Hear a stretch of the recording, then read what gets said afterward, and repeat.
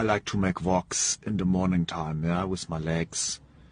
And I was walking this morning, yeah, around here, and I see uh, two two guys, two guys. They are, I think, they are hobos, hobos, uh, you know, uh, men of the streets, and they are uh, making an argue, you know, fight, fight, fight, not with uh, fisties, with mouth, mouthies, yeah, just very rude and things. And then one man say, "Man, suck my dick."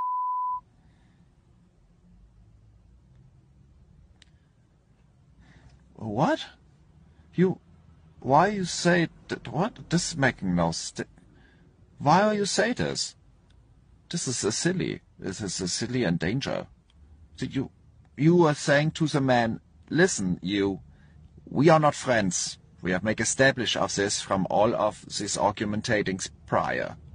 But please now take my most valuable uh, sensitivity possession in my body.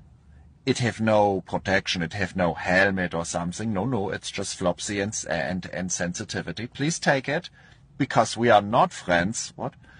Uh, and place it inside now a hole of you that is owning many, many uh, objects for crunching and destruction. Please, I trust you for zero reasons. Also, we are fighting, but no, I would like this, you to take my PP, please, and treat it like a lollipop, as I have requested here. Treat it like a lollipop. Of course you shall do this. You shall definitely not treat it like a hamburger, like a hamburger. No, no, of course. What? Of course. Of course this man shall make your, your, your PP into a luncheon.